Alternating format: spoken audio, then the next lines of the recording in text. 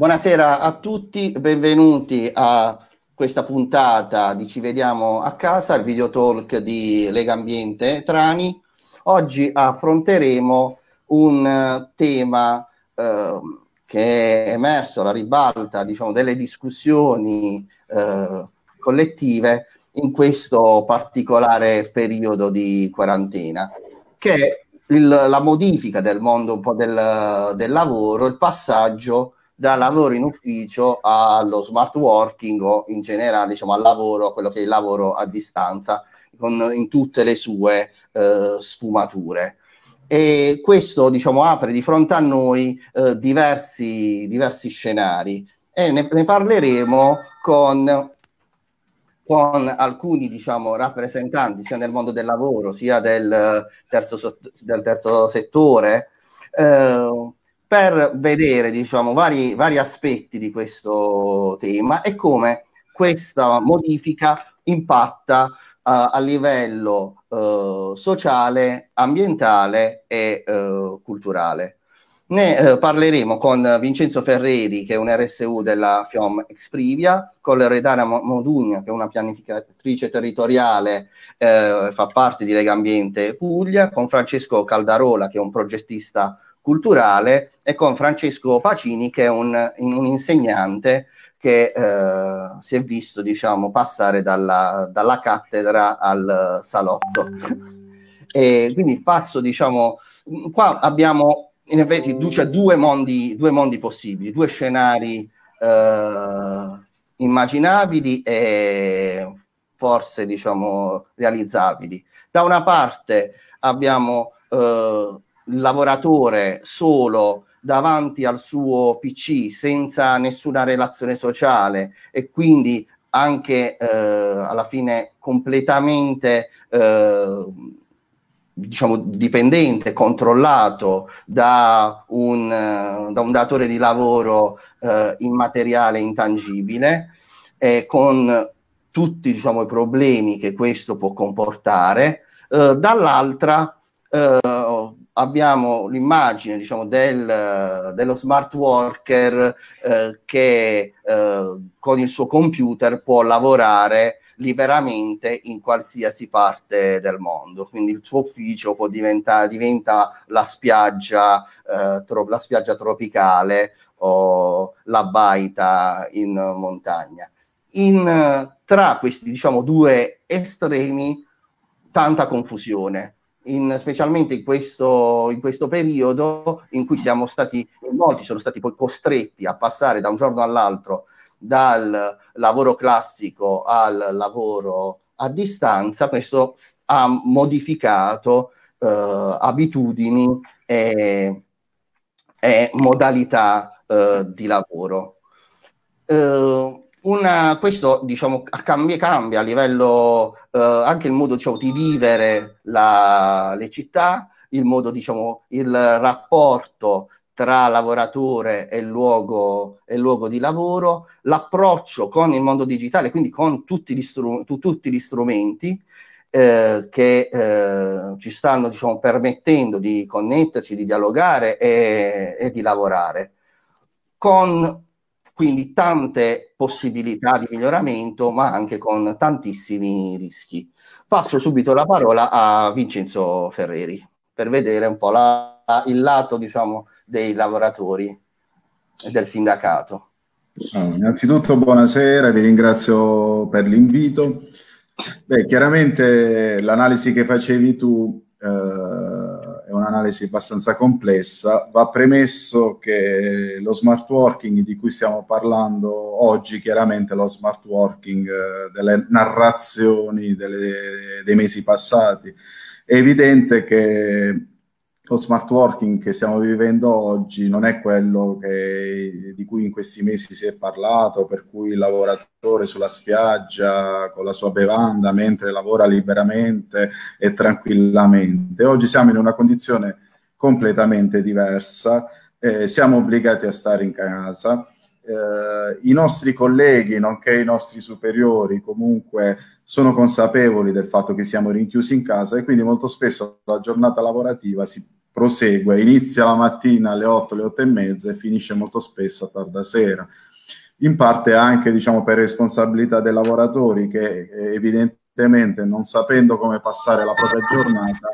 ricercano, rimangono comunque connessi sul, con i propri strumenti, sul proprio PC fino a tarda sera.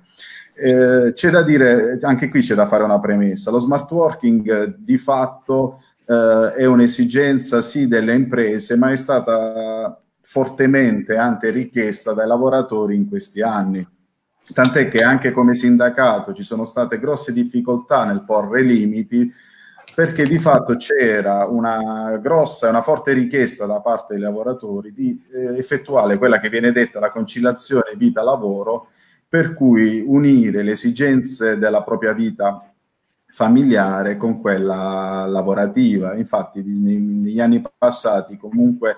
molti lavoratori, io faccio il rappresentante sindacale nella mia azienda, e fino a qualche anno fa lo smart working non, non si sapeva neanche cosa fosse, poi da qui a due o tre anni fa, eh, dietro anche la forte insistenza da parte dei lavoratori, l'azienda ha deciso di mettere, su, di mettere su un regolamento e far partire questa sperimentazione. Chiaramente al di fuori del coronavirus,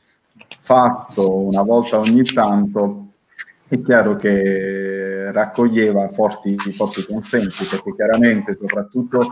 quei genitori che avevano figli molto piccoli avevano la possibilità di conciliare la vita con il lavoro, cosa che chiaramente in questo periodo storico non è proprio così. Sappiamo benissimo che oggi in, in, nei nostri appartamenti che col passare degli anni e con la crisi di fatto si sono anche un po' rimpiccioliti. Molti di noi hanno appartamenti non grandi, quindi sui 70-80 metri quadri, quindi senza la disponibilità di una stanza dove, in cui poter dedicare le proprie attività lavorative, quindi di fatto ti ritrovi in cucina, come per esempio sono io adesso, con la moglie che fa lo smart working, il figlio che magari sta nella stanzetta e che grida, gli animali, i cani, e di fatto magari su una sedia eh, della cucina che è scomoda, quindi di fatto diciamo, lo smart working durante il coronavirus si è rivelato un, molto ma molto problematico, eh, sia appunto per quanto riguarda la sicurezza sul lavoro, ma anche per la propria intimità e la possibilità magari di lavorare in tranquillità o anche magari effettuare delle chiamate senza grossi problemi. Dal punto di vista sindacale il problema invece è enorme, nel senso che in queste settimane ci sono grosse difficoltà ad avere contatti con i lavoratori, cosa che chiaramente sul luogo di lavoro non si hanno, perché di fatto tu incontri i lavoratori, li incontri ogni giorno, molto spesso magari ti apparti, loro ti raccontano quello che gli è successo. E chiaramente diciamo da casa è molto, è molto più difficile, tenendo presente che eh, non c'hai la possibilità di fare assemblea sindacale, se non diciamo in, in, modalità in videoconferenza, ma purtroppo non è la, non la stessa cosa. È chiaro che in questi contesti eh, cercano, si, si, cercano delle modalità un po' alternative, sperimentali e vi racconto diciamo brevemente, poi passo la parola agli altri, eh, quello che abbiamo messo su noi in queste settimane, un'esperienza un po' simile a quella che state facendo voi con Lega Ambiente. In pratica noi abbiamo messo su una web radio eh, e durante la pausa pranzo la, 14.15, dalle 14.15 alle 15 facciamo una diretta dove in pratica parliamo, diamo un'opinione diversa sul coronavirus. A volte affrontiamo questioni prettamente sindacali, altre volte tematiche di vario tipo. Faccio un esempio, nella giornata di ieri abbiamo avuto Don Raffaele Sarno, che, che è il cappellano del carcere di Trani, che ha raccontato ai nostri colleghi un po' qual è stata l'esperienza delle rivolte dei primi di marzo e che cosa è cambiato in pratica in carcere in queste ultime settimane. Abbiamo avuto Luca Casarini della ONG Mediterranea che ci ha raccontato un po' quello che sta succedendo nel Mediterraneo, abbiamo avuto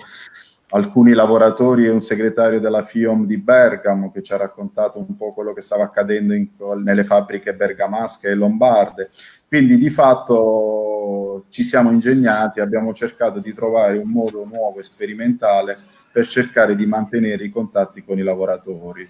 non è chiaramente semplice, attraverso la radio comunque non riesci ad avere contatti con tutti, devi chiaramente integrare con le chiamate, con, uh, con WhatsApp e tutti gli altri strumenti tecnologici, però sicuramente uh, così come è difficile la vita lavorativa durante lo smart working, è anche, anzi è altrettanto più difficile la vita per il mondo sindacale perché di fatto disgregherebbe eh, i contatti, le aggregazioni che sono fondamentali per, il, per, la vita sindacale e di fatto diciamo, metterebbe ulteriormente in difficoltà un sindacato che oggi è già in difficoltà per vari motivi. Grazie, finito Vincenzo? Sì, sì, sì Grazie finito. Vincenzo. E, mm, abbiamo visto un po' diciamo, l'aspetto di come diciamo, questo, questo, questo, mutamento è vissuto a livello diciamo, di mondo, anche diciamo, mondo sindacale. Eh, ora invece vorrei passare la parola a Loredana Modugno di Lega Ambiente Puglia per diciamo, un po' eh, raccontarci cioè, quale eff- può essere l'impatto anche a livello ambientale di questa trasformazione. Cioè noi abbiamo, stiamo vedendo in questi giorni anche il crollo del, del costo del, del, barile di petrolio, addirittura a prezzi negativi. Quindi questo, diciamo, stare, stare a casa o questo, diciamo, eh, non dover per forza raggiungere il posto di lavoro ha una, una ricaduta eh, a livello anche cioè, di mobilità, di... Loredana, vai. Eccomi, no, sì, stavo vedendo se mi sentivate. Eh, se mi vedete, un attimo solo, scusate un attimo che le addrizzo la telecamera. Ok, eh, buon, buonasera a tutti, grazie per questa opportunità. E, e giustamente, eh, occupandomi di eh, anche urbanistica, pianificazione del territorio, è impossibile pensare alle città o, o comunque a, ai sistemi urbani senza pensare poi anche ai sistemi delle relazioni e alle conseguenze eh, che vengono fuori da tutti questi cambiamenti. Fondamentalmente noi siamo passati da uno stato in cui eh, le connessioni, la, con- la, connettività, le contaminazioni tra, le, tra, le vari, tra i vari sistemi eh, era un motore di eh, diciamo, sviluppo economico, di ispirazione, ma anche diciamo, un motore sociale, culturale, a un momento in cui giustamente siamo stati obbligati a stare in casa e quindi questi motori che prima erano quello della connessione e della connettività sono diventati degli aspetti negativi. E naturalmente eh, in un'analisi diciamo, che mi viene da fare è che lo smart working ha potuto, eh, ha, ha, provocato, se da una parte dei vantaggi rispetto per esempio al, alla gestione del tempo, il tempo a casa, come lo possiamo gestire diversamente, perché magari uno non deve ogni volta spostarsi per andare al lavoro, eh, allora eh, gestisce diversamente il, il proprio tempo, ma rispetto alle relazioni sociali magari possono essere possono essere nati degli aspetti eh, negativi. Eh, per quanto riguarda invece lo, la gestione dello spazio, se pensiamo al, al, all'immagine delle città vuote che abbiamo visto in questi giorni, ci fa mh, mm, mm, pensare come questo spazio pubblico che oggi è occupato l'80% delle macchine, per esempio, possa essere diversamente riorganizzato ed ecco così si potrebbe avere un cambio di paradigma di quelle connessioni e di quelle contaminazioni che dicevo prima o delle aggregazioni, quindi uno spazio pubblico diversamente pensato per i pedoni, per le, le persone, per le attività, per le associazioni che magari si possono organizzare sul territorio e quindi diventa questo stare a casa un motivo eh, legato a diversi eh, um, concetti che sono quelli del tempo, quello dello spazio, quello delle relazioni sociali. Eh, quello che invece è un aspetto critico che ho eh, personalmente notato è che quando si parla di smart working o comunque di connessione remota si fa sempre riferimento al mondo degli adulti, quindi eh, si tralascia tutta una fascia sociale che è quella per esempio dei bambini, delle famiglie che magari non possono avere più di un computer o addirittura non ce l'hanno e quindi questa cosa diventa un elemento per aumentare quello che è il divario sociale. Quindi mh, mm, lo smart working va bene però per certe categorie di eh, lavoratori. Eh, lo smart working va bene per riorganizzare lo spazio pubblico e l'utilizzo eh, dello spazio pubblico delle città, quindi come spostarsi in bicicletta eh, oppure rimanere a casa per evitare di prendere la macchina oppure diciamo questo naturalmente ha un impatto sull'ambiente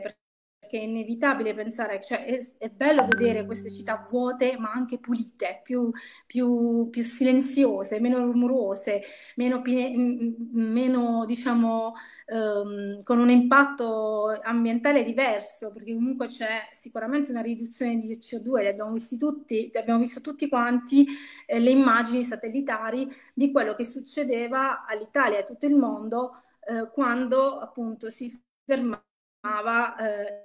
il traffico urbano. Quindi fondamentalmente lo smart working oggi ci dà la possibilità di ripensare a tutti questi asset, a tutte queste linee guida, no? tutti questi mh, spunti che però ehm, sono collegati tra di loro perché poi fanno parte del nostro vivere quotidiano.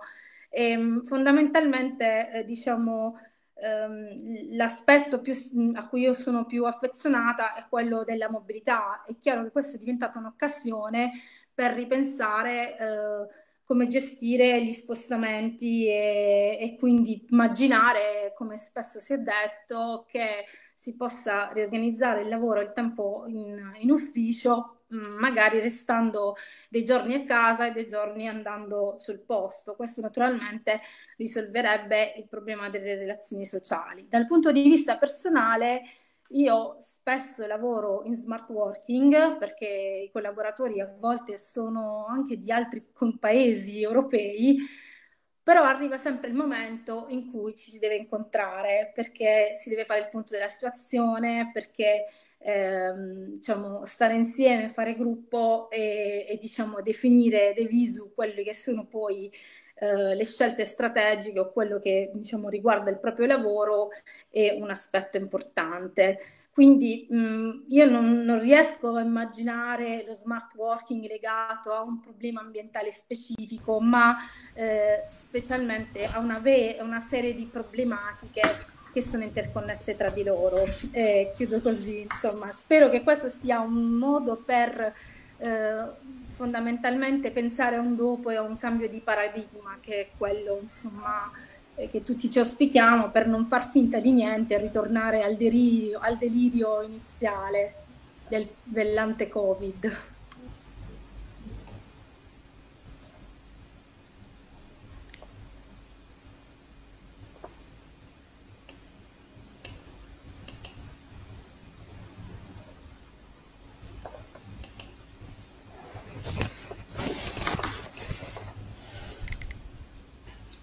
Vincenzo, sei connesso?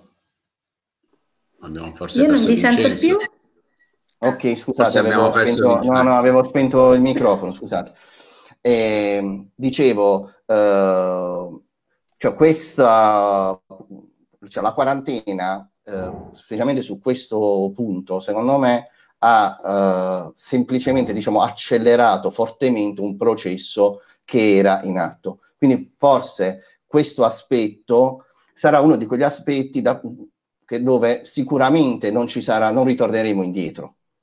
Ora, mm. ora quello diciamo, che dobbiamo diciamo, capire, su cui ci dobbiamo interrogare, è in effetti come cambia eh,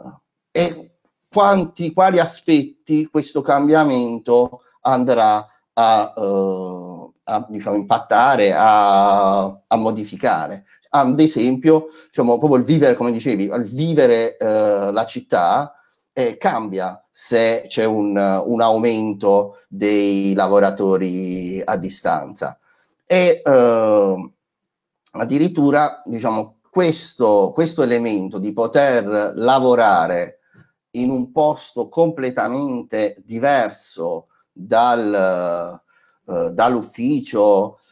eh, può diciamo innescare e in effetti in molti casi per chi per, diciamo, può ha già avviato questo processo. Stavo leggendo un articolo parlava di circa un uh, uh, quasi un, un miliardo di, di, potenziali smart worker uh, nei, entro il 2025 che sono diciamo tutto un, un, sogge, una, un soggetto di una massa diciamo di lavoratori che eh, possono cioè, spostarsi quals- alla fine in qualsiasi posto del, del mondo. E su questo diciamo, passo la parola a Francesco, eh, perché come diciamo anche a livello culturale, eh, sociale,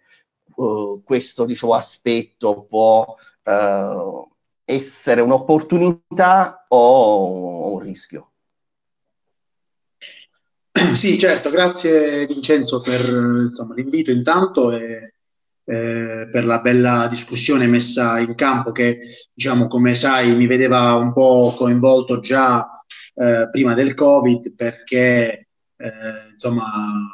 sei venuto a sapere del, del mio interesse legato alla questione eh, quando stavo proprio lavorando su un progetto legato a, alla possibilità in qualche modo di creare a partire dalla, dall'opportunità fornita dalla, dal lavoro da remoto, una, una sorta di ehm, eh, opportunità per un territorio, eh, fra virgolette, remoto, anch'esso come quello eh, diciamo della nostra città, ma un po' dei, dei sud e delle periferie, diciamo, nazionali ed europee in generale. Eh, diciamo che io volevo fare un po' un quadro ehm, diciamo, della situazione perché eh, ci sono in ballo molte parole, come dicevate nella vostra introduzione, smart working, flexible working, remote working, telelavoro, insomma, ci sono tante definizioni che in questo momento ehm, affollano il web. Eh, tendenzialmente, come diceva eh, Vincenzo nel, nel, suo intervento, il, lo smart working che stiamo praticando in questo momento non è lo smart working che ci auspichiamo di applicare eh, nel post pandemia, diciamo, ma è uno smart working forzato che ci vede reclusi in casa. Diciamo che la definizione di flexible working tiene dentro un po' tante, tante definizioni. Eh, flexible working eh, significa eh, tendenzialmente lavorare da remoto o lavorare comunque anche in ufficio con delle condizioni tendenzialmente eh, flessibili, per cui si può, si può, identificare nell'orario, si può identificare eh, nel luogo di lavoro, diciamo la flessibilità può essere declinata in vari modi. Uh, lo smart working in Italia ha un'accezione particolarmente legata al tipo di lavoro che si svolge, ad esempio, nelle società di consulenza, nelle grandi multinazionali di consulenza, diciamo milanesi, come eh, diciamo, più, suolo definirle, nel senso che tendenzialmente queste società hanno eh, principalmente sede eh, nelle grandi città e permettono ai loro dipendenti un paio di giorni, un giorno a settimana di lavorare da casa eh, in maniera eh, flessibile, quindi in maniera eh, autonoma. Il remote working è quello che invece si fa Uh, a, cui si fa spesso riferimento quando si parla proprio di quei caraibici lavoratori a cui facevi cenno tu, Vincenzo, con diciamo, la spiaggia tropicale sullo sfondo e un computer con il quale lavorare. Questo è un tipo di lavoro che mh, spesso eh, è attuato dai professionisti, dagli autonomi, dagli indipendenti, da grafici, creativi, insomma chi si può permettere di lavorare completamente distaccato da, un, da una titolare, da un dipendente perché lavora su committenza e non ha necessità di incontrare eh, colleghi. Eh, quello che eh, questo, questo, tipo di lavoro era già molto in voga eh, ultimamente, nel senso che chiaramente tanta gente stava cominciando a immaginare nuove soluzioni per lavorare eh, autonomamente, quindi da casa, in co-working, eh, in degli spazi dedicati. adesso è più complicato perché viene richiesto questo sforzo a chi lavora come dipendente, chi fa questo lavoro come dipendente. Chiaramente per alcune categorie è praticamente impossibile, penso ai commessi, ai commessi, insomma tanti lavori che prevedono una, anche se anche lì ci sarebbero delle soluzioni diverse eh, che hanno a che fare più che altro con l'automazione, eh, però eh, rimane un tema eh, fortemente culturale. Perché è un tema culturale? Perché è un tema che riguarda la fiducia, perché significa che i dipendenti, i titolari delle aziende devono essere in grado di fidarsi dei loro dipendenti, di co- concepire una nuova modalità di, di lavorare, eh, di permettere loro quindi di eh, lavorare in qualunque momento, a qualunque ora e da qualunque luogo ed evitare eh, diciamo una, un, la, la, mania del controllo. Questo è un tema secondo me molto importante, è un tema culturale perché presuppone una forte flessibilità, ma anche autonomia, ma anche collaborazione. Non si può immaginare di lavorare eh, da remoto senza,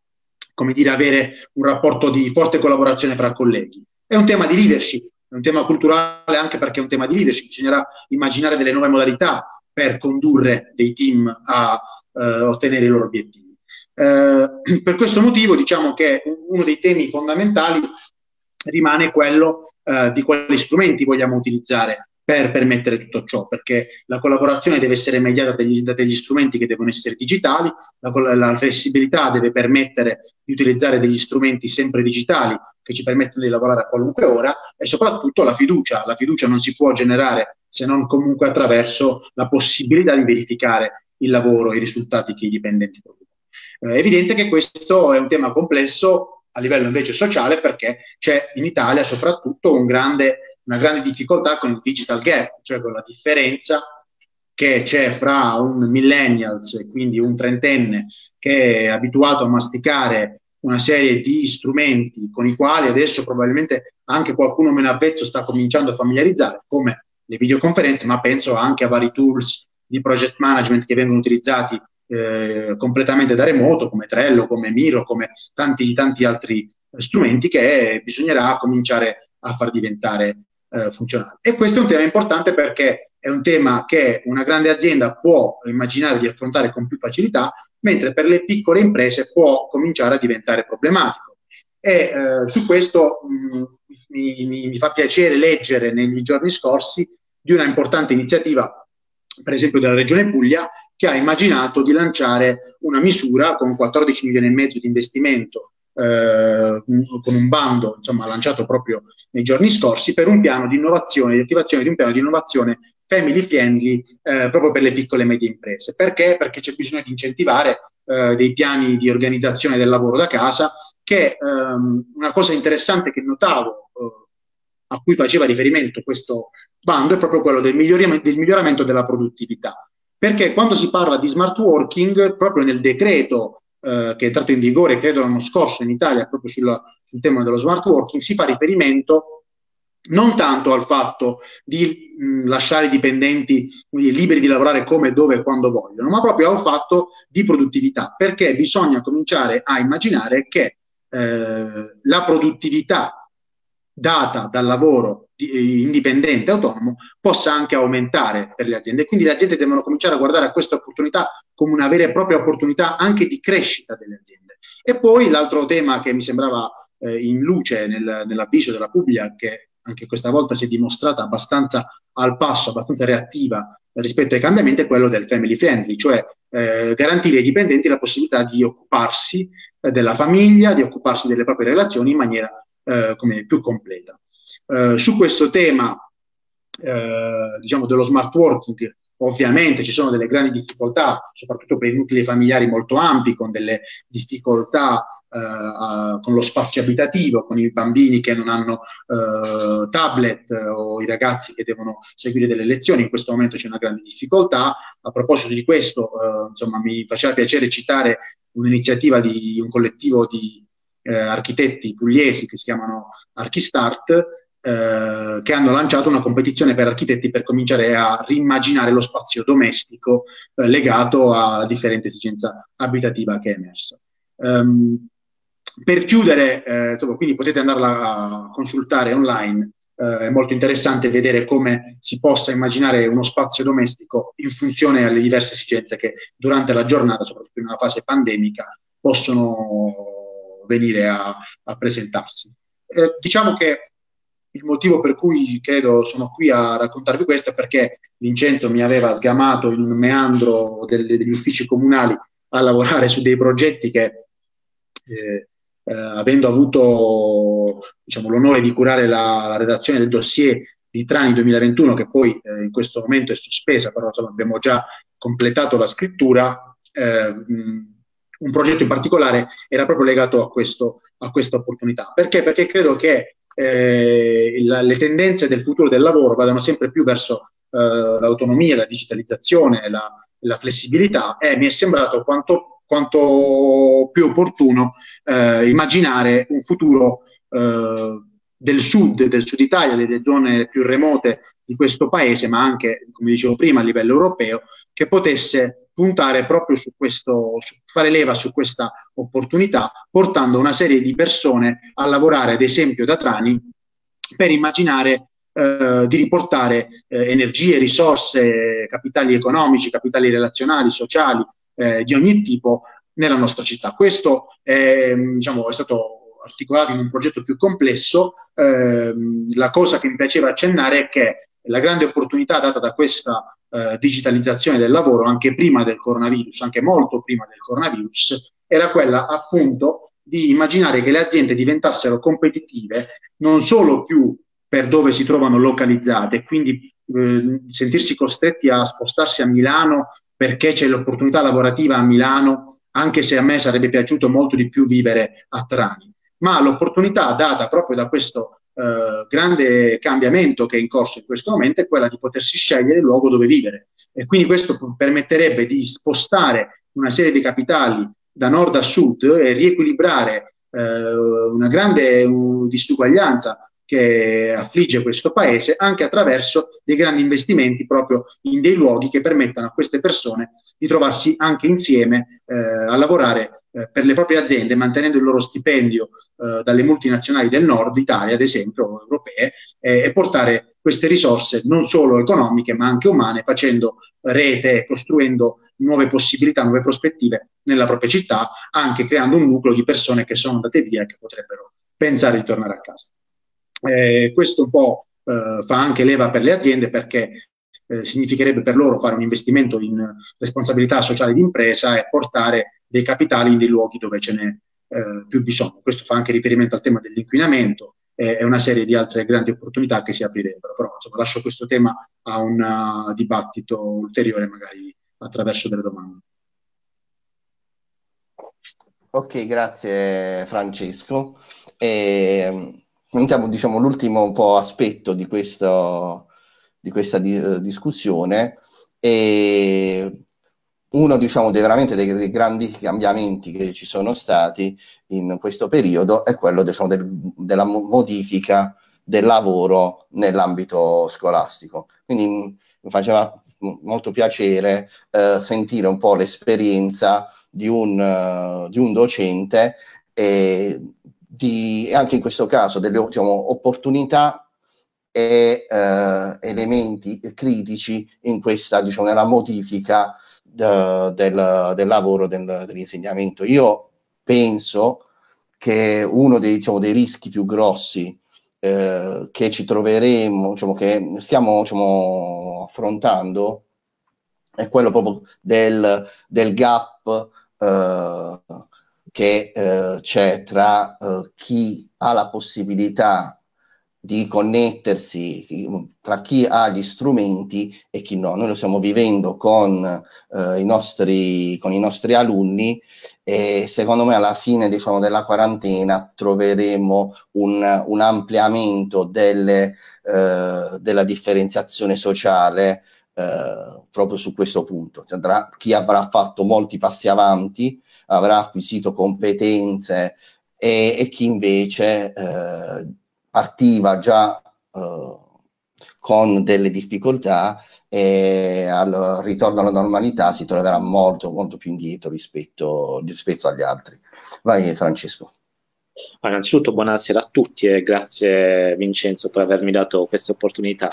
Non mi voglio dilungare più di tanto su qualcosa di ovvio, cioè sulla, su una scuola fortemente impreparata ad affrontare questa emergenza. Più che altro voglio discutere su un aspetto per me fondamentale. È un errore che molti docenti hanno commesso in questi due mesi di, di quarantena ormai, cioè quello di aver confuso la didattica digitale con la didattica a distanza. Cosa voglio dire? Voglio dire che uh, questo smart working di noi docenti alla fine è stato poco smart perché molti colleghi hanno pensato di dover adottare strategie di totale digitalizzazione del, del lavoro, costringendo gli alunni e anche se stessi a passare intere giornate al, davanti al computer, quando in realtà bisognava soltanto adattare delle strategie che andassero a ovviare quello che è uh, quella che è l'essenza dell'insegnamento, cioè il contatto diretto con i ragazzi. Uh, faccio un esempio per, uh, che possa diventare, che possa essere insomma d'aiuto per chi ci sta ascoltando, cioè molti docenti hanno pensato che non solo la spiegazione, ma anche Uh, la preparazione dei compiti, lo svolgimento dei compiti e la resa del docente con una valutazione, con un giudizio sul compito realizzato dai ragazzi dovesse avvenire tutto per via digitale. Quindi i ragazzi si sono dovuti attivare, oltre che con le piattaforme uh, di lavoro, anche con dei computer esclusivi che potessero essere utili per la preparazione di un PowerPoint, di un testo, di un lavoro digitale e consegnarli ai docenti che quindi dovevano fare un lavoro immane che li ha costretti a, in molti casi, perché parlo di, di miei colleghi, a quasi giungere a una forma di esaurimento che non ha fatto altro che allontanare gli studenti, ma anche creare una forma quasi di repulsione verso il nostro lavoro. Uh, io non ho, mh, mm, ho pensato a una strategia diversa, un po' per cercare di mantenere la mia forma didattica, cioè quella di basare tutto sul dialogo. Cosa intendo dire? Le mie lezioni già lo erano, ma lo sono tuttora molto dialogate con i ragazzi, domande e risposte, domande e risposte per cercare di pervenire tutti insieme ad una forma di, di conoscenza. Ho assegnato anch'io per carità compiti digitali, ma questo lo facevo anche in precedenza, tant'è che a mio avviso, per quanto riguarda la mia azione didattica, non ho riscontrato molti cambiamenti se non quello di perdere, e io spero che questo non venga perduto in futuro, perdere l'aspetto relazionale con i miei ragazzi, che è l'essenza dell'insegnamento, perché si ha con un contatto diretto, un ritorno immediato con i ragazzi.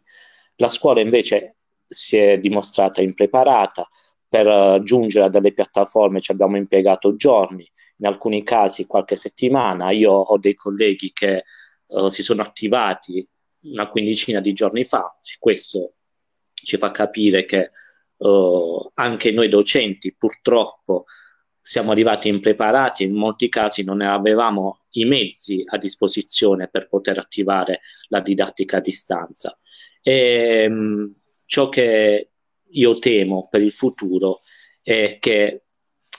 queste barriere che si stanno creando, un po' come uh, diceva Vincenzo, possano influire molto negativamente sul mondo della scuola, amplificando le distanze, amplificando il, il gap tra chi ha la possibilità e chi non ha la possibilità. E secondo me adesso la scuola deve porsi un quesito fondamentale e deve cercare di capire dove vuole andare. Mi spiego. Uh, mi spiego meglio, cercherò di essere brevissimo. Dove vuole andare? Si sente parlare tantissimo di uh, classi pollaio. Vogliamo continuare in questa direzione? Vogliamo tornare a scuola con uh, delle classi che siano più agevoli per sviluppare il nostro lavoro? Oppure la butto lì in maniera paradossale. Vogliamo andare a sfruttare questo periodo di quarantena, questo periodo di didattica a distanza per attivare in maniera definitiva la didattica a distanza, perché questo comporterebbe non classi pollaio, ma classi immense da gestire online in cui l'unico uh, scopo del, del, docente è quello di trasmettere un sapere facendo a meno dell'interazione con,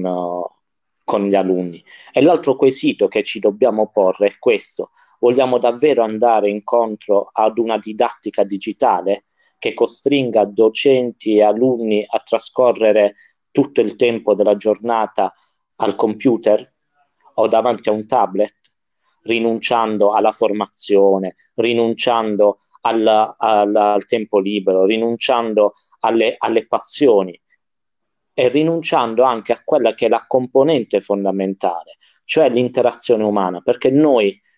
molto spesso in questi giorni abbiamo badato al programma, abbiamo badato alle nostre competenze, al, al dover, doverci aggiornare, al dover, parlo per magari i colleghi un po' più avanti con l'età, a dover imparare ad usare determinati strumenti, ma non abbiamo pensato ai nostri ragazzi che in questi due mesi hanno perso fette di vita, hanno perso quello che la scuola crea, cioè amicizie, amori, esperienze. Quindi la scuola si deve interrogare, secondo me, su questo, sul, uh, sul capire che alcune dinamiche sono fondamentali non possono essere uh, tralasciate e devono dare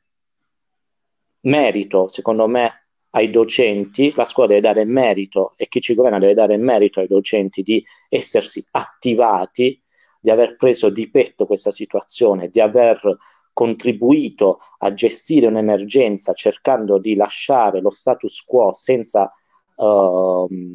alterazioni sostanziali per un futuro migliore anche per i docenti, che abbiano un riconoscimento, che abbiano delle strutture funzionanti, delle strumentazioni funzionanti anche a scuola, perché purtroppo nelle scuole, e Vincenzo lo può confermare, la situazione spesso è tragica. Chiudo dicendo che le nostre difficoltà oggi sono tante,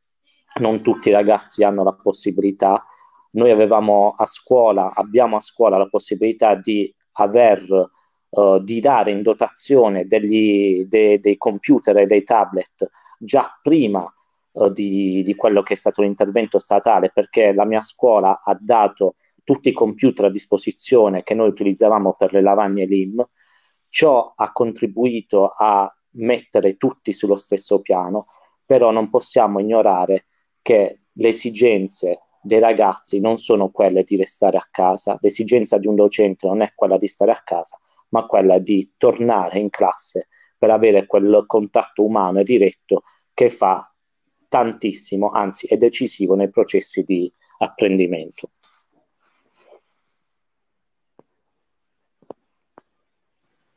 Grazie, grazie Francesco. Quindi abbiamo diciamo, uh, un po' uh, affrontato in maniera molto rapida vari, vari aspetti Uh, ora quindi diciamo, approfitto per salutare chi ci sta seguendo su Facebook e uh, a questo punto diciamo, aprirei un po' il, il dibattito sul tema, quindi chiunque uh, può intervenire o entrando in Jitsi oppure anche commentando su Facebook. Uh, io volevo, diciamo, prima diciamo, di aprire questa seconda parte, nella discussione sono, cioè, sono emerse alcuni, alcuni elementi eh, chiave che secondo me sono il contrasto tra eh, libertà e controllo. Cioè questa, questa modifica accentua entrambi diciamo, i livelli. Diciamo, da una parte la liber- diciamo, una potenziale la libertà del lavoratore di svincolarsi dal luogo, dal luogo fisico, dall'altra l'elemento diciamo, del, cont- del controllo del datore di lavoro su, uh, chi, su chi lavora che diciamo anche in alcune situazioni io vedo diciamo credo quelli dei, dei call center il lavoro uh, a distanza uh, c'è un problema grossissimo cioè del controllo cioè la gestione proprio dei secondi la gestione dei secondi di, del fatto di alzarsi quindi la digitalizzazione può invece che essere un elemento di libertà, può diventare proprio un, ele- un elemento di riduzione della libertà dell'indipendenza diciamo, del, del lavoratore. L'altro, l'altro elemento è quello del tempo, cioè da una parte si libera tempo, dall'altra invece all'opposto c'è questo, uh, il tempo si, si dilata, cioè il tempo di lavoro rischia di dilatarsi al, all'infinito. Abbiamo visto uno attacca diciamo la mattina alle 7 e a mezzanotte ci sono ancora eh, persone che ti mandano quei siti di lavoro tramite, tramite whatsapp. Altro elemento gli strumenti cioè, in effetti abbiamo visto, cioè, ci sono tantissimi strumenti possibili, alcuni che eh, ci, ci hanno, cioè, facilitano il lavoro, ce lo facilitano adesso e ce lo faciliteranno anche per il futuro, e altri invece che ce lo complicano. Cioè, prendo sempre ad esempio lo strumento WhatsApp, che è diventato uno strumento, diciamo, di, di lavoro invece che uno strumento di, diciamo, di passatempo per... Uh, mantenere il contatto con gli amici e questa è stata una cosa secondo me super deleteria. Io ogni, mi rendo conto che siamo bombard- in questo periodo siamo veramente inondati di, eh, di messaggi. Eh, l'altra questione è quella cioè, proprio dei luoghi. Cioè, questo, questo mutamento del rapporto tra uh, lavoratori e, e, luoghi, che poi può essere il luogo di lavoro, ma anche come diceva Franci, c'è una questione di come si vive la città e anche può essere questo un elemento di riequilibrio tra nord e sud, tra centro e periferia. Uno degli elementi da cui veramente eravamo poi diciamo, part- era partita questa discussione, noi stavamo ragionando sullo svuotamento, del, svuotamento della città e anche oh, questo, cioè, il vero problema che non è l'immigrazione, ma il problema dell'emigrazione eh, giovanile. Cioè noi perdiamo eh, fasce eh, di popolazione, si parla diciamo, addirittura nel, di, numeri, um, di numeri importanti anche nell'area BAT e, e a Trani, proprio di una, una, fascia, di, una fascia giovanile che sarebbero poi diciamo, le energie vitali per il rinnovamento sociale e politico della città. Quindi uno svuotamento, quindi questo uh, processo di svuotamento sia diciamo dal, di perdita delle persone ma anche di, svuota, di, svuotamento di luoghi fisici anche in posti diciamo uh, belli eh, della nostra città quindi questo mutamento può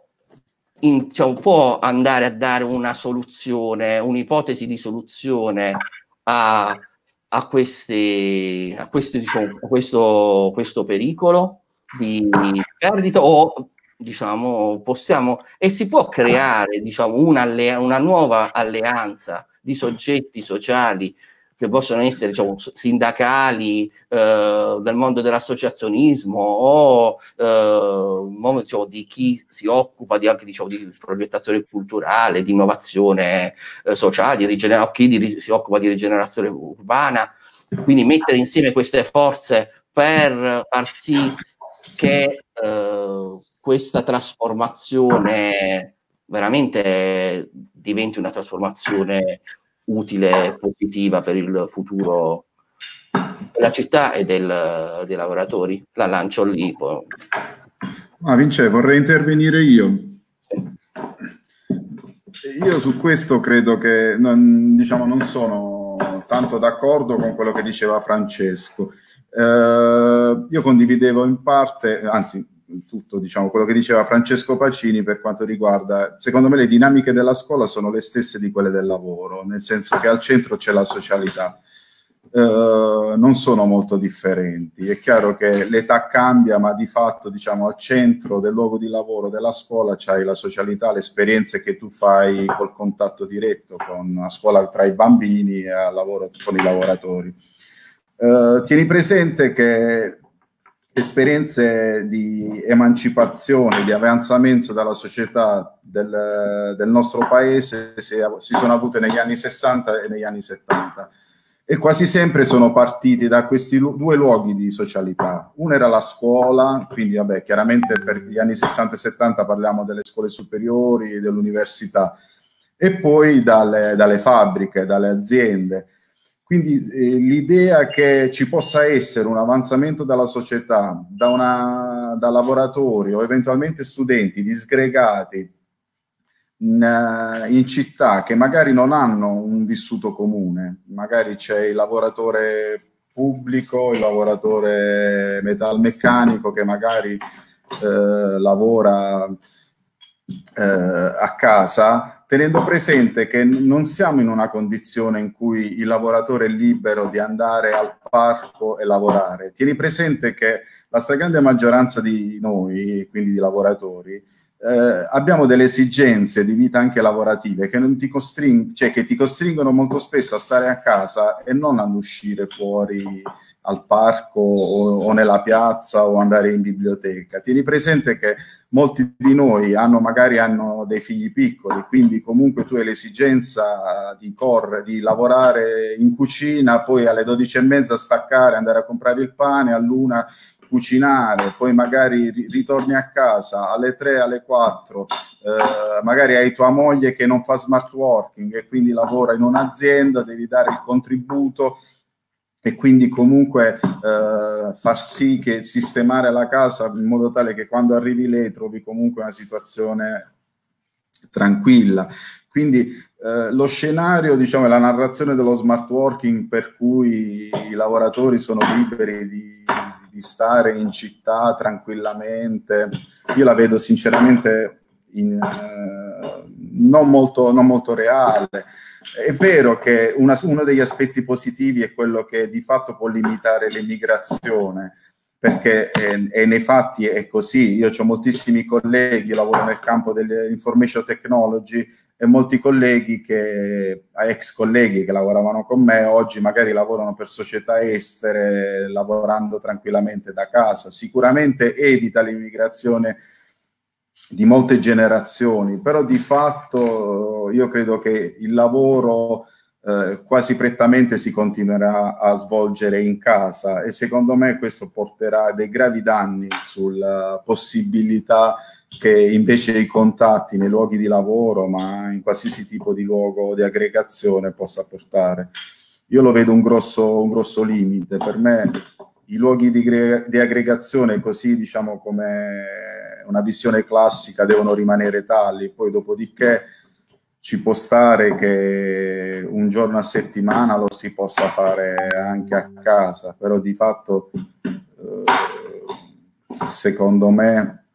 i luoghi così come erano in passato devono, devono rimanere anche in futuro. Cioè, credo che la trasformazione della società la si possa avere solo se tu hai le persone negli stessi luoghi, se vivono le stesse esperienze, le stesse eh, magari anche drammatiche, ma anche di, di condivisione di momenti felici, però devono rimanere tali. Nel momento in cui c'è una dispersione, secondo me ci potrebbero essere grossi problemi, ma anche non solo dal punto di vista dell'evoluzione della società, ma anche dal punto di vista eh, psicofisico. Vincenzo, se posso, solo una breve, diciamo,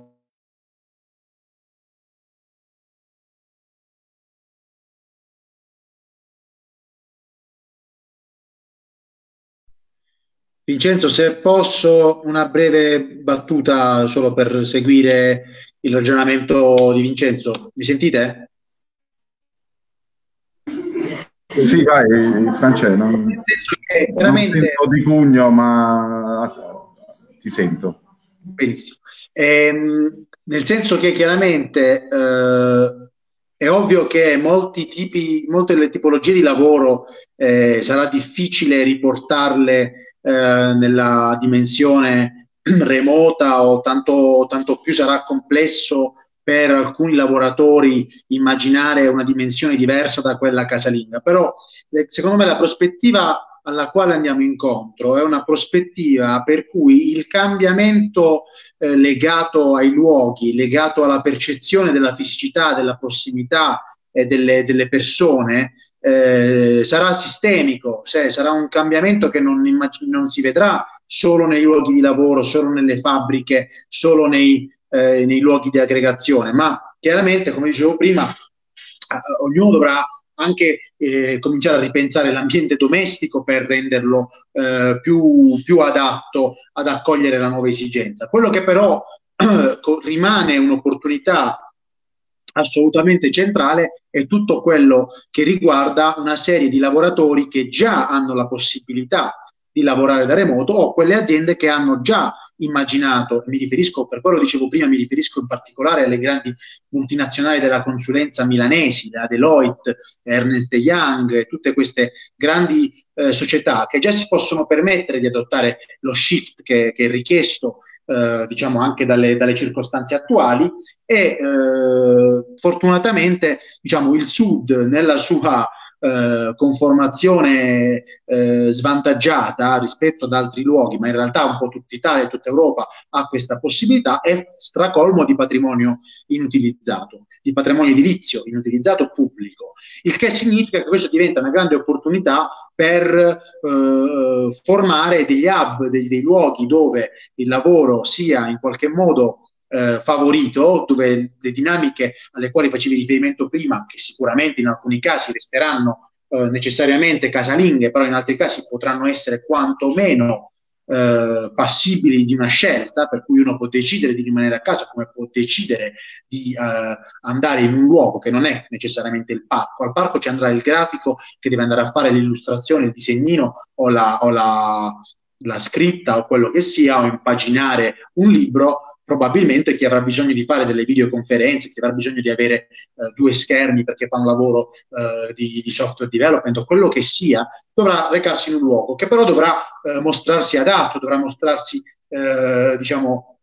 eh, capace di, a, di accogliere queste dinamiche. Per cui io sono sicuro che non siamo pronti, però mi sembra il caso di cominciare davvero a pensare in un'ottica di eh, adeguamento di alcune strutture in questo momento inutilizzate che quantomeno possano offrire l'opportunità anche di aggregazione, di integrazione, di, di eh, ibridazione tra le diverse professionalità, che è una cosa molto importante anche quella, cioè avere la possibilità di lavorare con delle, delle persone che, che provengono da ambienti lavorativi anche diversi, può sicuramente stimolare l'attività lavorativa di chiunque si, si rechi in questi luoghi. Quindi niente di più banale di, un, di, uno spazio di coworking che però si attrezzi eh, veramente al meglio per accogliere le esigenze maturate da, da, da, da questa circostanza particolare.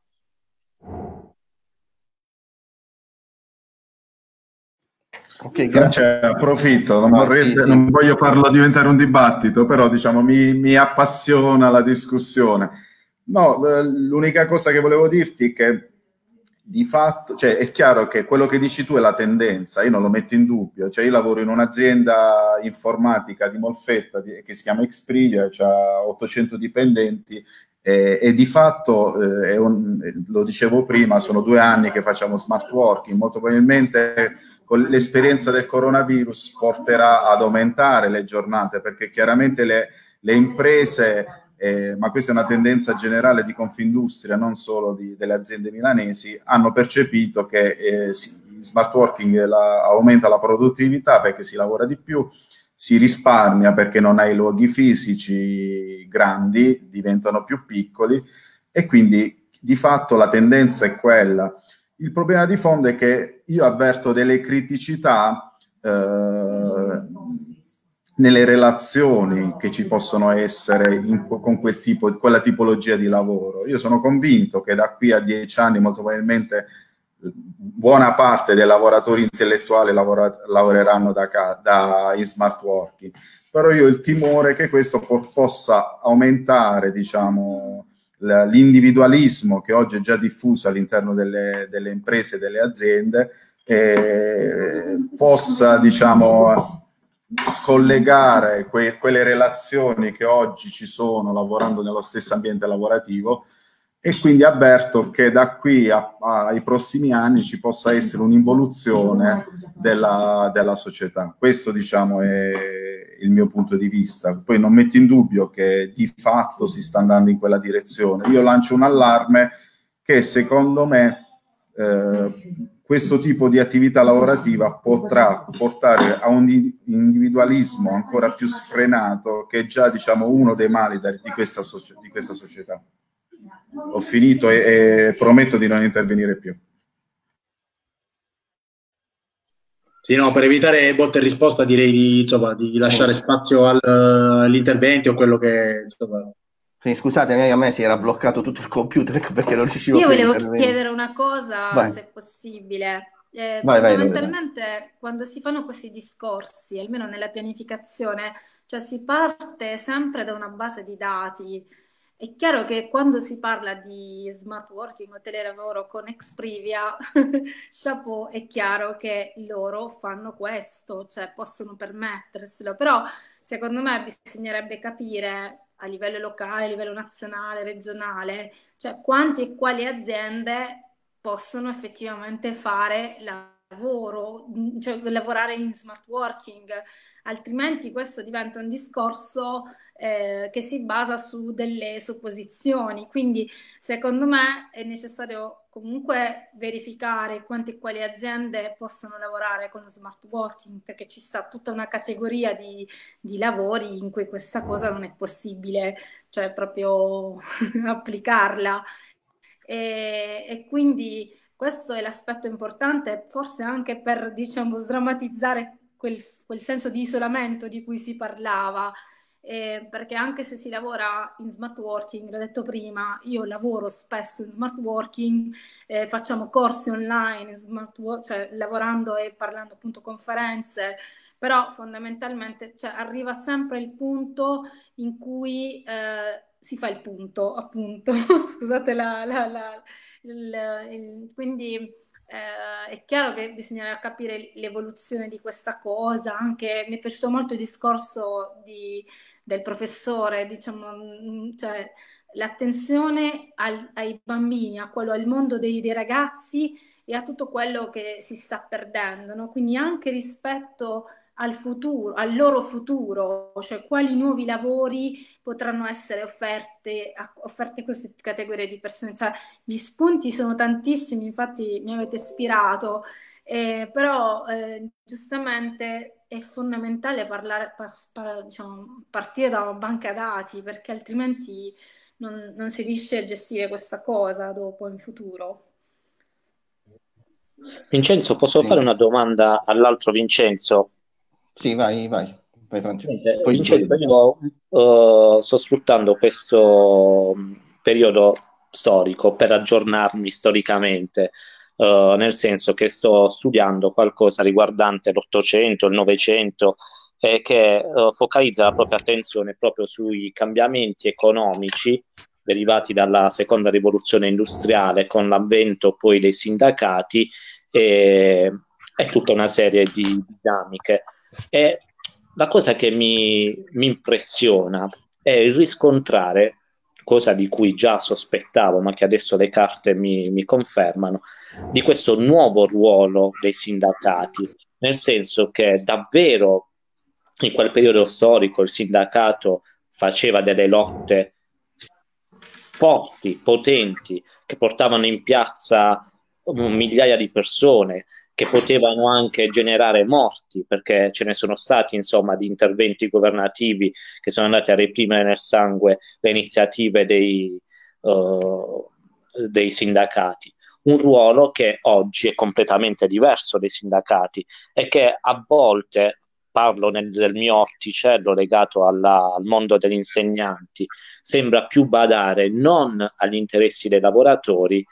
quanto più a degli interessi diciamo settoriali probabilmente anche degli, degli, stessi, degli stessi, sindacati o dei, dei, grandi di casta, di casta puoi dire. Ah, sì, esatto diciamo così. E allora io la riflessione che stavo facendo adesso è questa. Le ricadute positive e negative dello smart working su chi andranno a finire? Perché uh, per questo te lo chiedo cioè quali sono le prospettive? Perché il mio sospetto è che le ricadute negative possano essere tutte sulle spalle dei lavoratori che perderanno, adesso la butto lì, io non conosco le dinamiche aziendali, però magari perderanno i buoni pasto perché vivono a casa, perderanno degli orari ben definiti di lavoro perché stanno a casa e quindi possono essere contattati magari uh, 24 ore su 24, uh, devono magari pagarsi loro le postazioni per andare in un coworking. Cioè,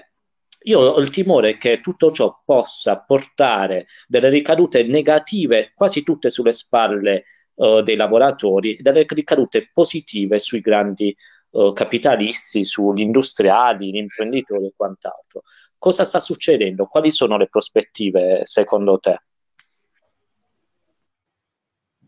No, io per questo, io, condivido quello che, che, sostenevi, nel senso che secondo me la direzione ormai è segnata, nel senso che da qui ai prossimi anni, eh, se, non ci saranno, se non ci sarà una discussione, e come diceva prima la, la compagna, anche magari avvallata da dei dati, eh, secondo me il destino sarà questo. Il problema di fondo è che quelle esperienze di cui tu raccontavi, che hanno caratterizzato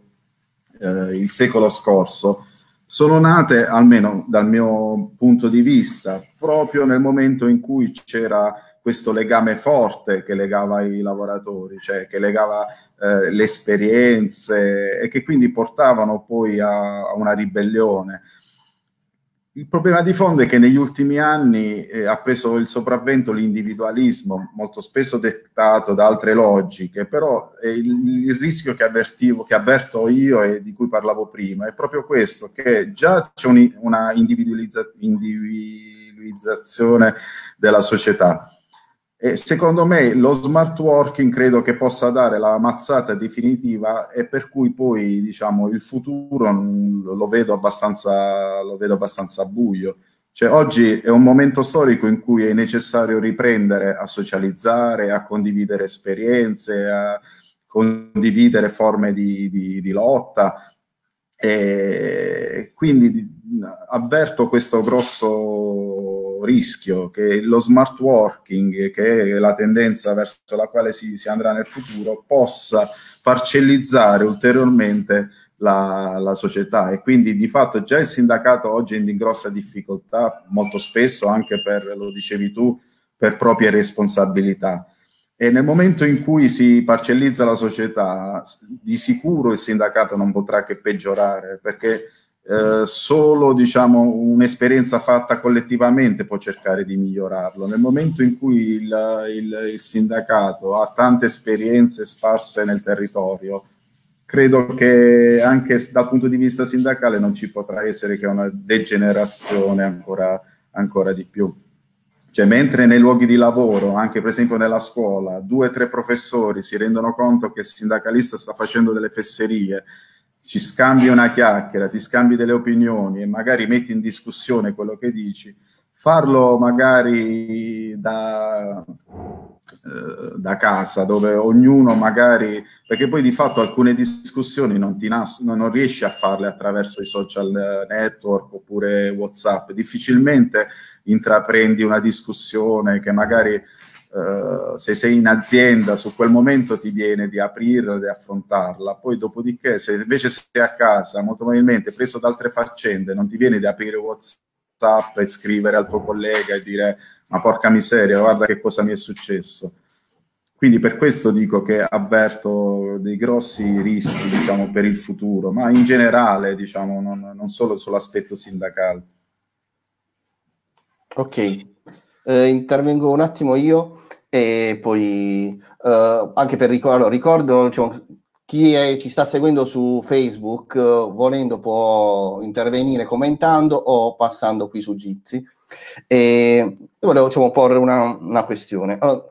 posto allora, l'elemento, cioè, la tendenza c'è, cioè, è, assodato, cioè, abbiamo questa tendenza e questa tendenza ha avuto un'accelerazione. Certo, alcuni lavori non potranno eh, mai diventare dei eh, lavori a distanza, però gran parte dei, del lavoro in, in, man- in materiale eh, sta, eh, diciamo, ha, subisce, diciamo, ha, cioè questo, ha questo rischio di, diciamo, di eh, o, questa, o questa potenzialità. L'elemento è quello delle relazioni, cioè questa tendenza può portare da una parte sicuramente a un aumento dell'individualismo, ma ancora di più a un aumento della solitudine del lavoratore rispetto al, all'azienda, quindi un lavoratore molto più debole, anche molto più difficilmente diciamo, intercettabile dal, dal, sinda- dal, sindacato, quindi un lavoro anche sindacale diventa praticamente quasi impossibile se io ho tutti i lavoratori sparsi eh, in, in, punti, in punti diversi, però questo, diciamo, questo qua è l'elemento, quello delle relazioni, è forse l'elemento di massima debolezza ma potrebbe diventare invece l'elemento, il punto, un punto diciamo di forza. Se io ad esempio immagino che a un certo punto io scelgo gli altri lavoratori con cui relazionarmi. Cioè io non, parlo, non, non lavoro da casa, cioè se io identifico dei luoghi terzi che sono dei luoghi di prossimità rispetto alla mia abitazione, che sono uh, strutturati in maniera tale da permettermi diciamo, la connessione, eh, tutti diciamo il, la stampante, eccetera, quindi tutta una serie di servizi, ma in cui io scelgo con chi lavorare, con chi fare il, la pausa caffè. Questo non può innescare un processo invece virtuoso? Ve la, diciamo, ve la pongo come... E poi passo la parola poi a Chetti che voleva intervenire, che Rubina e Nicola. Buonasera a tutte e tutti. No, io rispetto al tema dello smart working eh, volevo porre l'attenzione, diciamo, sulla questione del eh, gender gap, nel senso che ovviamente in una situazione come quella che stiamo vivendo e di, diciamo, di isolamento, quindi di lockdown e di smart working, la situazione delle donne è evidentemente molto, ma molto più complessa perché ovviamente all'interno delle famiglie, delle case, le donne eh, hanno molto più difficoltà, eh, sia che eh, siano donne lavoratrici o sia che non siano donne lavoratrici. Nel caso in cui non siano donne lavoratrici, vabbè, abbiamo visto aumentare del 73% a marzo un aumento esponenziale delle violenze domestiche e vabbè, questo è un dato. Mentre dal punto di vista delle donne lavoratrici, cioè, assistiamo, diciamo, ad una vera e propria difficoltà eh, di unire tutto diciamo, il lavoro domestico di cura casalingo al lavoro a casa. E quindi rispetto alle sfide del, del futuro eh, di cui stavamo parlando, appunto, cioè questo sicuramente è un problema abbastanza, voglio dire, importante da affrontare, soprattutto perché questo eh, può veramente implicare quel processo di emancipazione, di liberazione che negli anni poi le donne hanno portato avanti, perché una situazione come questa che stiamo vivendo adesso, cioè, nel senso, diventa veramente limitante per una serie di, eh, di questioni eh, proprio di autodeterminazione delle donne. E, ehm, e, dunque, secondo me, questo diventa uh, uno de, de, diciamo, dei, dibattiti, dei dibattiti, dibattiti principali all'interno diciamo, di tutte queste dinamiche politiche e sociali. E, ehm, e secondo me, ehm, oltre diciamo, poi a tutta la questione del, dell'amore di lavoro a casa, eh, della difficoltà poi di lavorare, tutta una serie di cose, diciamo che l'aspetto più fondamentale eh, è quello proprio del tempo eh, tolto alle donne per l'elaborazione diciamo, proprio del proprio tempo, dei propri spazi, eh, dei propri percorsi di studi, di lavoro, e diciamo, di, proprio di libertà da quello che è un po' il contesto familiare, eh, del contesto familiare in generale. Eh, sicuramente eh, bisognerà rimettere in discussione tutta una serie di dinamiche, sia a livello pubblico che privato, si, e sia sugli ambienti di lavoro da questo punto di vista. Cioè, io ritengo che ehm, eh, la questione dei ruoli di genere all'interno anche diciamo, di questa crisi eh, mondiale eh, ha sempre comunque, come dire, eh, de- cioè deve avere comunque una certa attenzione per sciogliere anche quei nodi che in realtà poi riguardano la società tutta. E, e niente, solo questo volevo dire. Ho, ho finito. Ci siete? Grazie, eh, sì, sì, vai, parola Cherubina. Ci siamo, ci siamo. Ah, ok, ok. Oggi, scusa se mi collego a questa cosa, sentivo una mia amica, collega architetto, che diceva non riesco ad avere più il tempo di, di fare l'architetto perché giustamente avendo i bambini a casa eh, che comunque sono abbastanza piccoli e insomma giustamente non riesce più una donna a gestire il proprio tempo, insomma poi ognuno sta facendo i sacrifici, i propri sacrifici, però insomma questo discorso è fondamentale, insomma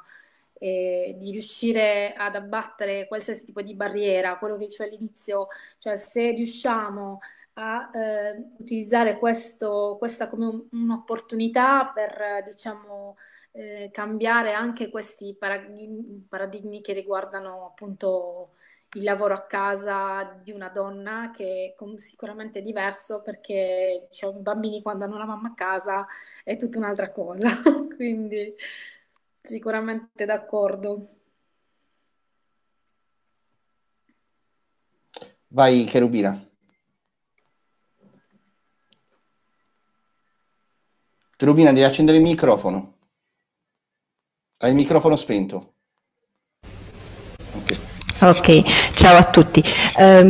mi ricollego ai vostri ultimi interventi, a quello di, anche di Vincenzo e a quello che ha fatto prima Francesco per dare in realtà una diversa prospettiva, anche se mi sembra che eh, fino ad ora, per quello che ho sentito, e mi scuso per essermi collegata tardi, eh, gli interventi fossero più tarati rispetto alla figura del lavoro dipendente. Io invece porto l'esperienza completamente diversa che è quella del, lavoro, del lavoratore autonomo, eh, che mh, necessariamente a causa dell'emergenza ha dovuto accelerare eh, sul telelavoro proprio per necessità, perché eh, oltre al problema sicurezza, eh, diciamo noi autonomi abbiamo il problema di dover far fronte a eh, dei costi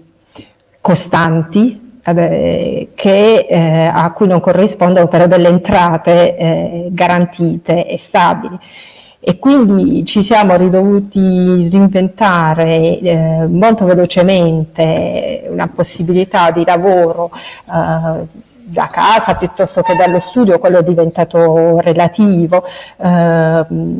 ma abbiamo dovuto trovare il modo per eh, interagire con i clienti e poi anche per interagire nel mio caso, eh, io sono avvocato, con il tribunale. Per cui molto velocemente il Tribunale, l'Ordine degli Avvocati si sono attrezzati eh, per stipulare protocolli, strutturare nuove forme di gestione delle udienze, eh, dico anche combattendo con norme e sistemi che non erano pronti eh, o tarati su questo, eppure eh,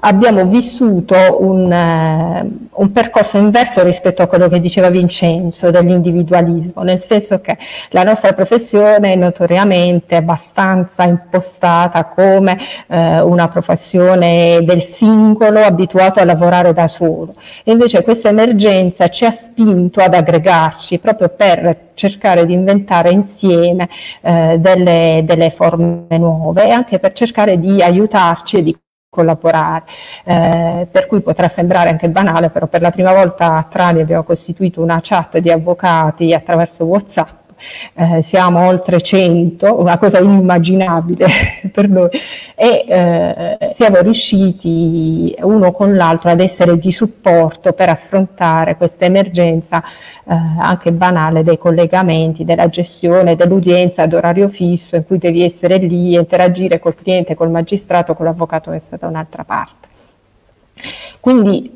l'emergenza ci ha spinto a cercare eh, nuove forme eh, di, di, lavoro, di, con, di, collaborazione. È chiaro che qui poi entra in gioco eh, quello che diceva Francesco prima, cioè scelgo poi a un certo punto con chi eh, collaborare e quella che è una situazione emergenziale può diventare una nuova prospettiva per costruire, per inventare nuove nuove forme di, di gestione, di, di, lavoro che non avevano adesso eh, raccontarsi in maniera diversa, insomma, con tutte le difficoltà del, del momento. Chiaramente poi per una donna è tutto molto più difficile, ecco, perché lavorare da casa, ma è anche più difficile per quello che sta avvenendo in questo momento, nel senso che eh, è chiaro che eh, sarebbe più semplice e fattibile per una donna lavorare da casa se i bambini fossero a scuola, il fatto invece di avere bambini a casa e che la gestione dei bambini sia particolarmente deputata alle donne anche nel seguire i compiti piuttosto che altro, va necessariamente ad incidere sul lavoro della donna. Quindi quella è l'emergenza nell'emergenza. Ecco. Ho terminato. Ok, grazie Cherubina. Approfitto del fine del tuo intervento per eh, salutare tutti coloro che ci stanno seguendo. Eh, a questo punto io chiuderei la diretta streaming quindi... Vincenzo, volevo solo dire una cosa sulla scuola, se mi permetti. Eh? E poi ah, okay, vabbè, okay, sì. allora, intervieni prima tu e poi, poi sì, sì, dico una cosa sulla scuola, poi puoi chiudere, semmai eh, continuo con il resto. Uh, Nicola Valente dell'alberghiero di Trani, docente. Uh, io condivido molto il uh, discorso fatto da, da Francesco, però volevo aggiungere qualcos'altro. non è vero che la scuola si è trovata impreparata alla didattica a distanza. La scuola si è trovata in un universo totalmente diverso. Eh, noi non pensavamo di fare una nuova didattica, che non è la didattica a distanza, che ha eh, delle caratteristiche ben determinate, cioè la didattica a distanza si sceglie. Eh, ci sono le università online che lavorano in determinati modi, eh, si seguono delle lezioni, eh, si fanno dei test a distanza.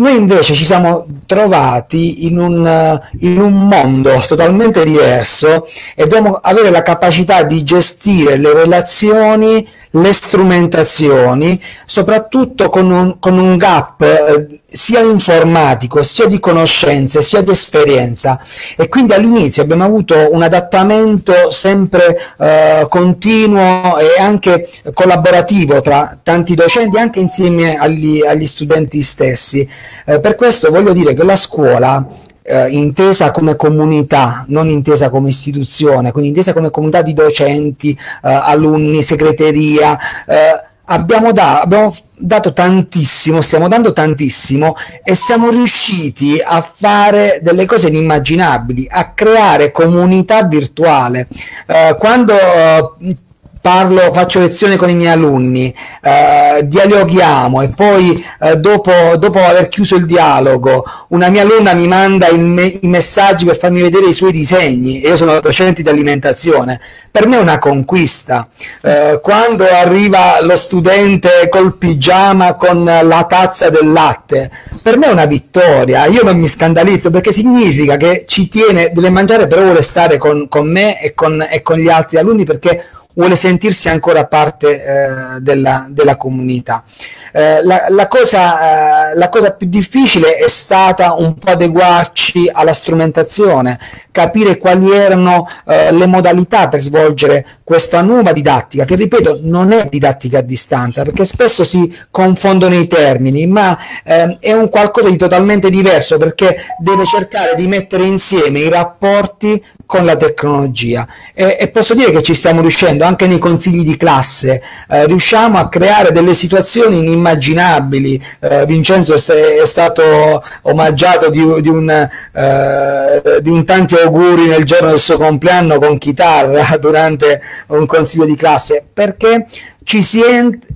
si diventa proprio una, una, famiglia. Non è vero che poi c'è sempre distanza con, con, con internet. È chiaro che non è una cosa che volevamo e quindi dobbiamo dirlo, non è una didattica che abbiamo scelto ma la facciamo perché riteniamo che la cosa più importante per i nostri studenti eh, sia far gestire loro al meglio il loro tempo, dargli la possibilità di crescere, di continuare questa crescita, ma non con le lezioni sterili, come diceva bene Francesco prima, ma continuando quella cosa che c'è veramente cara nella didattica, che è il rapporto con, con gli studenti.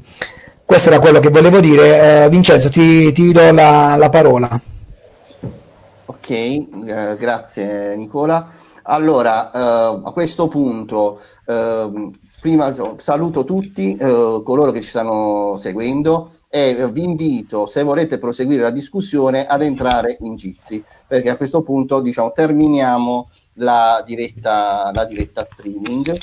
e eh,